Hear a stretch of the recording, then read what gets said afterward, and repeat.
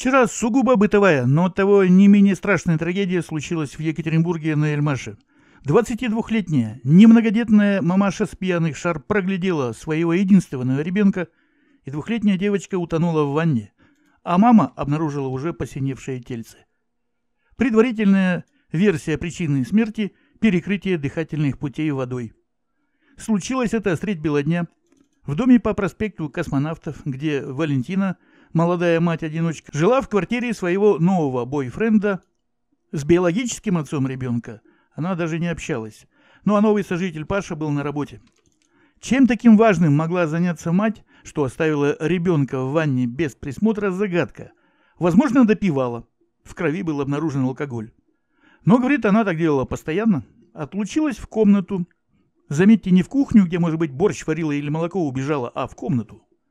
КП «Урал» приводит ее рассказ, цитата. «Я часто ее так оставляла одну в ванне.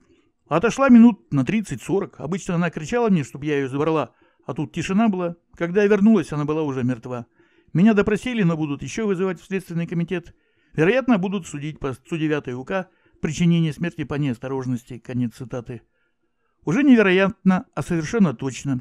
СК возбудил уголовное дело, по которому за смерть двухлетней дочери грозит двухлетний срок. Есть версия, что ребенок играл в ванне с открытым сливом, но каким-то образом сумел его закрыть и в результате уснул и захлебнулся.